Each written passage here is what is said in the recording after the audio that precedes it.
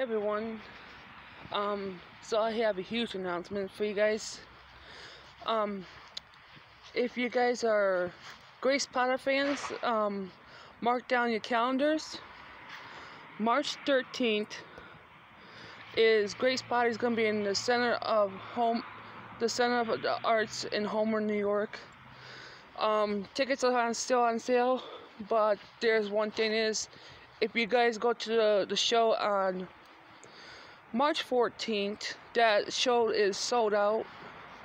So the show starts at 8 o'clock for both um, the 13th and the 14th, and it gets done at 10 10:30 at night. So, but the 14th show, Grace Potter is sold out, but the 13 still has seats and tickets left.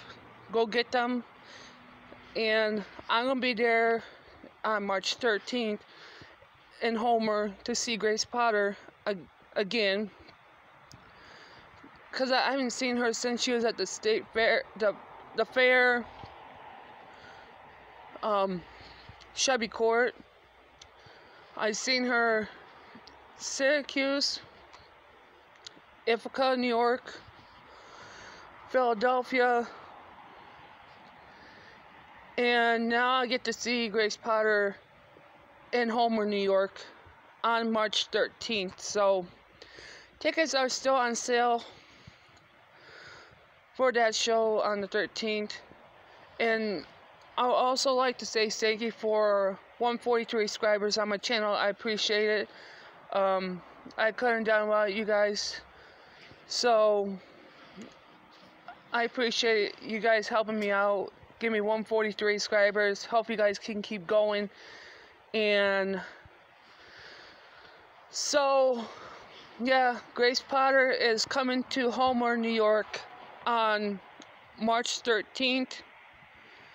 And tickets still are still available for the 13th show, but if you go see her the 14th, you guys won't be able to get in because it's absolutely sellout show on the 14th of March. So, yeah, and we're gonna have. I'm gonna have a good time to see Grace Potter on March 13th. So, I'm looking forward to go see her, and um, I'm gonna be staying in the hotel on Monday the 13th at Quality Inn in Cortland, which is not going to be far away from the show. So it's be closer between the show where the hotel I say at the Quality Inn.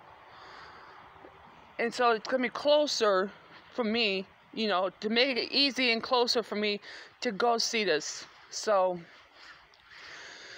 Grace Potter, if you're watching this, I cannot wait to see you in Homer, New York on March 13th. And like you said, rock on what I'm going to be rocking on. And hopefully you have some merchandise stuff, Grace Potter, because I know you know how to put on good shows a lot.